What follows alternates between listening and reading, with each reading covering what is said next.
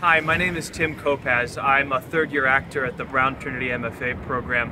Uh, and the word creativity is pretty much inherent to our work, uh, but I like to think about it in a more interesting way that uh, the word create uh, came into the English language to mean something which was divinely created, something pulled out of nothing.